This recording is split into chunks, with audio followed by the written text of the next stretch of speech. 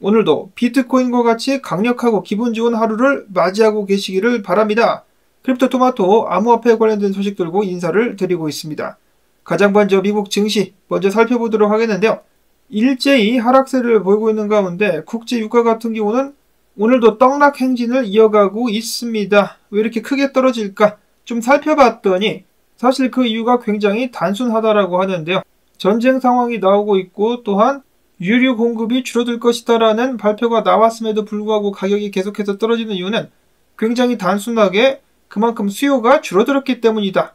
수요가 왜 줄어들었느냐? 경기가 그만큼 좋지 않기 때문에 경기 침체의 징조다라고 이야기를 하는 것을 들었는데 그것이 사실이라면 사람들의 예상보다 훨씬 더 빠르게 경기가 흔들리고 있다는 것을 예측을 한번 해볼 수가 있겠습니다.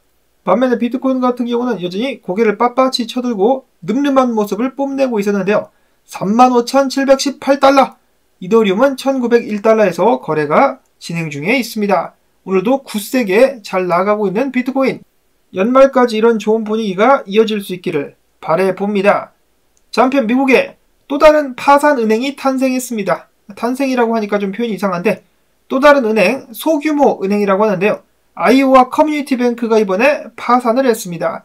이로써 올해에만 미국에서 다섯 번째로 파산하게 된 은행이 되었는데요. 자, 아직 연말까지는 두 달가량이 더 남아 있습니다. 그 안에 추가적으로 파산하게 되는 은행들이 나오게 될 것인지 흥미진진한 상황 속에서 계속해서 지켜보도록 하겠습니다. 자, 한편 제롬 파월 같은 경우는 오늘 연설을 했었는데요.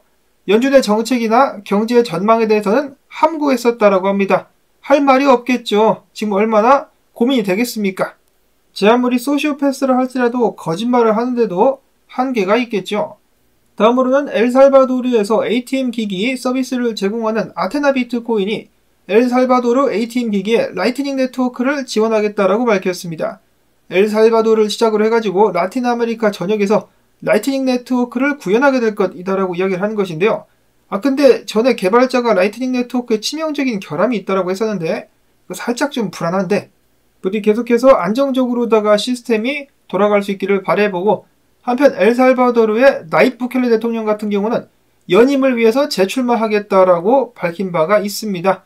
공식적으로 그게 가능해졌다라는 발표가 나왔는데 좋은 결과 마찬가지로 기다려 보도록 하겠고요. 다음으로는 비트코인 현물 ETF 관련해 가지고 주목할 만한 루머, 루머라기보다는 의견들이라고 볼 수가 있겠는데 의견들이 돌아다니고 있습니다. 출처는 전부 다 블룸버그 분석가들인데요. 그들은 첫 번째로 이렇게 이야기를 합니다. 내년 1월 10일 전까지 비트코인 현물 ETF 승인 가능성이 여전히 90%다. 근데 만약에 SEC가 그 전에 ETF를 승인한다 친다라면은 하나 두 개 혹은 따로따로 승인하는 것이 아니라 모든 현물 ETF를 동시에 승인할 가능성이 높다라고 이야기를 하면서 다음과 같은 말도 덧붙입니다. 미국을 기준으로 해가지고 다음 8일 동안, 앞으로 8일 동안, 즉 빠르면 내일부터 시작해가지고 SEC가 모든 비트코인 현물 ETF들을 승인해버릴 가능성이 있다.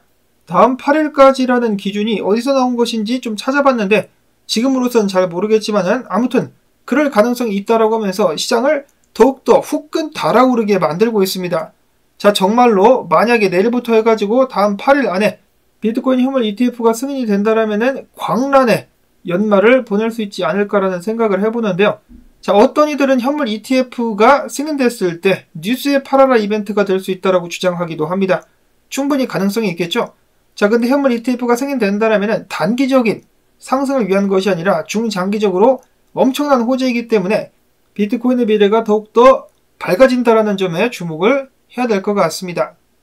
이어서는 비트코인 동향 및 분석으로 넘어갑니다. 첫 번째로는 엇갈린 분석이라고 볼 수가 있겠는데 비트파이넥스가 보고서를 통해서 밝히기를 자 올해 들어가지고 비트코인 가격이 110% 이상 올랐지만은 아직까지 장투자들 특히 고래의 매도 움직임은 없다라고 밝혔는데요.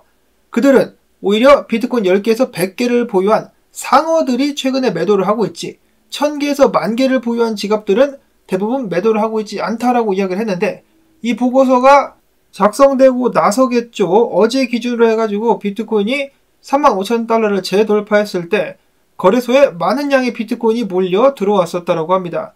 액수는 무려 3억 7천만 달러로서 개수로 치자면 1,570개 정도라고 하는데요. 자, 대부분이 이런 식으로 물량이 거래소로 들어오게 된다면 해당 보유분을 판매할 의향이 있는 것으로 해석이 되곤 하죠. 하방 압력이 강해질 수 있다라는 것으로 받아들이곤 하는데 여러 거래소들 비트파이넥스 그리고 빗썸과 크립토닷컴 여기서는 코인베이스, 폴로니엑스 등등을 통해 가지고 고래들이 상어들이 아니라 고래들이 비트코인을 이동시켰었다라는 소식이 나왔습니다. 또한 이 중에는 고래들 물량뿐만 아니라 채굴자들의 물량도 포함된 것으로 예측을 해볼 수가 있겠는데요. 블룸버그에 따르면 채굴자들이 지난 10월 채굴된 물량보다 더욱더 많은 물량을 갖다 팔았다라고 밝혔습니다. 그러니까 기본적으로 10월 달에 채굴된 물량 다 갖다 팔고 들고 있었던 것도 갖다 팔았다라는 것인데요. 자, 채굴자들이 축적을 해야 상승 모멘텀이 더 강해질 수가 있을 것인데 이런 부분은 좀 아쉽습니다. 자, 이처럼 고래들과 채굴자들이 비트코인을 매각한다라고 했을 때 시장이 이를 소화시킬 수 있을 것이냐가 비트코인 지속적인 상승에 큰 영향을 주게 될 것 같습니다. 채굴자들 같은 경우는 비트코인 ETF가 코앞인데 왜 비트코인을 팔고 있는 것일까요? 그만큼 돈이 급한 것일까? 아니면 비트코인 추가적인 하락이 올 거라고 생각해가지고 이를 대비하면서 현금을 축적하는 것일까? 크립토퀀트 주기영 대표 같은 경우는 비트코인 지금 채굴자들이 전반적으로 채굴을 하는데 드는 비용 한 개 채굴당 18,000달러가 들고 있는데 반감기 후에는 당연히 따블이 돼가지고 36,000달러까지 상승하게 될 것이다라고 이야기를 했습니다. 물론 이것은 평균적인 비용이긴 하지만 만약에 비트코인 가격이 36,000달러 위에서 유지를 해주지 못한다라면은 채굴자들은 결국 적자를 볼 수밖에 없다라는 것이죠. 그래서 이런 상황에 대비하기 위한 수단일 수도 있겠습니다. 다음으로 이어서 비트코인 가격이 기세 등등하자 여러 가지 희망 회로들이 나오고 있는데요. 그 중에 플랜 B의 stock to flow 모델이 다시 한번 주목을 받으면서 언론이 이를 활용하는 모습이 보여지고 있기도 한데요. 예를 들어 크립토 슬레이트 같은 경우는 플랜 B의 stock to flow 모델이 비트코인 가격이 상승하자 다시 한번 주목을 받고 있다. 미래의 가치를 예측하는 데 도움이 되지 않겠느냐. 그리고 stock to flow 모델을 기반으로 봤을 때 지금 현재 비트코인의 적정가는 얼마? 10만 달러다라고 이야기를 했습니다. 개인적으로 이런 기사는 좋은 징조로 받아들이지는 않습니다. 그만큼 희망 회로가 달궈지고 있다는 것인데, 야, 이러면 안 되는데, 좀 자제를 해야죠, 언론들. 아직 5만 달러도 못 갔는데 무슨 10만 달러, 자, 그 다음으로 벤자민 코엔 분석가 같은 경우는 오히려 경고를 하고 있습니다. 내년에 연준이 금리 인하를 하게 될 것이다라는 예측 계속해서 나오고 있는데, 저도 이 부분에 대해서 많이 다뤘지만 역사적으로 연준이 금리를 상승시켰다가 중단 후 인하를 시키면은 어떤 결과가 발생합니까? 증시 개떡락 나오게 되죠. 그러면 비트코인도 이를 따라갈 가능성이 높지 않겠느냐? 금리를 인하한다라는 것은 연준이 좋아서 인하를 하는 것이 아니라 인하를 하지 않으면은 안 될 상황이 닥쳐가지고 인하를 하는 것이기 때문에 그만큼 이미 경제는 개박살난 상황이어가지고 금리 인하가 증시 상승을 견인할 수는 없다. 그러면 증시 상승은 언제 발생을 하느냐? 바로 연준이 양적 완화를 시작할 때라고 볼 수가 있겠는데 근데 내년에 대통령 선거 때문에 금리 인하와 동시에 양적 완화가 시작된다면 뭐 어떻게 될지 모르죠. 그런데 당연히 금리 인하 이후에 양적 완화 때까지 시간이 좀 걸린다. 그러면 그 간격 동안에 큰 하락이 나올 가능성이 있다는 것을 염두에 둬야 된다라고 벤자민 코에는 경고를 하고 있는 것입니다. 이어서는 분석, 펜토시 분석가가 이야기하기를 비트코인이 설설설설 기면서 정을 뚫어가고 있는데 한 번에 큰 상승은 나오지 않을 것 같고 36,300달러까지 일단 올라갈 수 있지 않겠느냐라고 예측을 했습니다.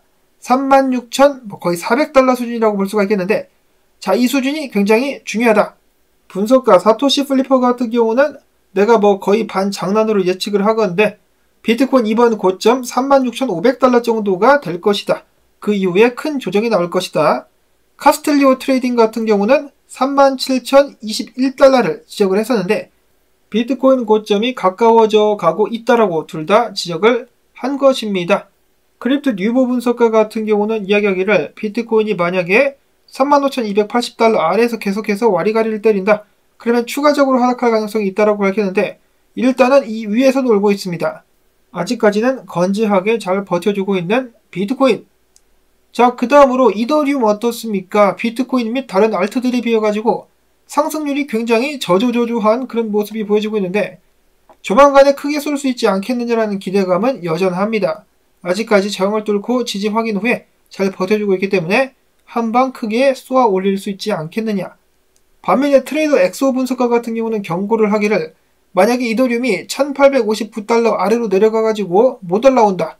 못 올라오면은 이더리움의 하락과 함께 알트코인들 굉장한 조정을 받을 가능성이 있기 때문에 조심해야 된다라는 경고를 남기기도 했었습니다. 자, 그래서 지금 분위기가 화끈 달아 올랐는데 약간씩 경고의 음성들이 동시에 나오고 있는 상황. 자, 그 다음엔 알트코인들 소식들을 추가로 보도록 하겠는데요. TBK라는 코인, 공유하기는 좀 살짝 늦은 감이 있습니다. 어제 공유를 했었어야 됐는데, 영상 끝나고 나서 차트가 올라와가지고, 그 후에 업데이트된 내용인데요. 계속해서 상승하고 있으며, 지지 확인 후에 0.05달러까지도 상승할 가능성이 있다는 분석. 자, 그 다음에 체인링크 어마어마합니다. GBTC가 현물 ETF 승인 기대감에도 불구하고 역프가 아직 12%인데 그레이스케일의 체인링크 신탁 같은 경우는 프리미엄이 200%를 넘어갑니다.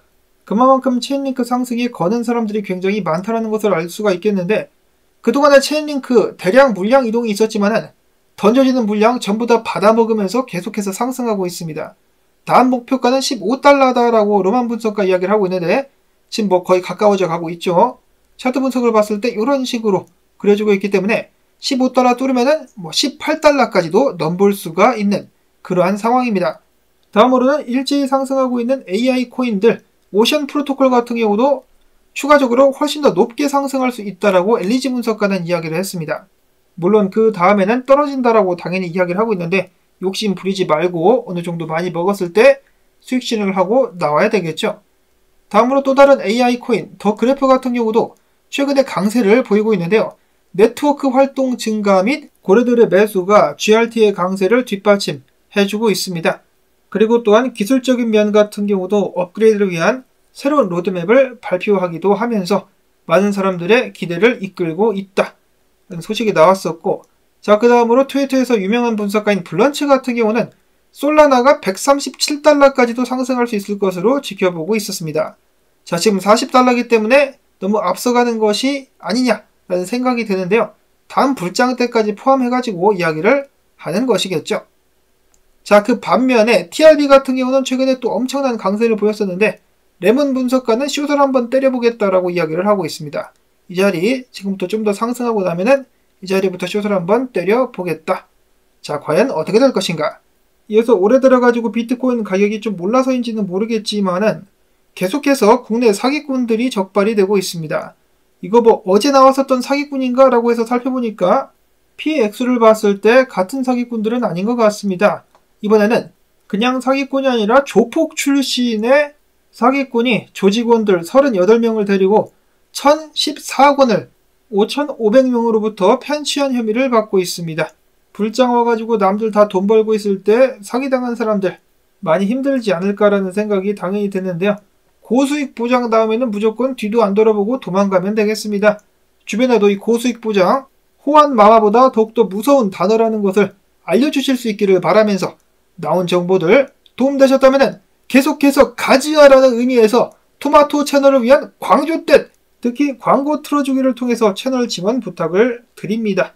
여러분들의 응원이 있어야만 저도 계속해서 힘을 낼 수가 있겠죠. 자 그럼 저는 다음에 새로운 소식 가지고 또 인사를 드리도록 하겠습니다. 안녕히 계십시오.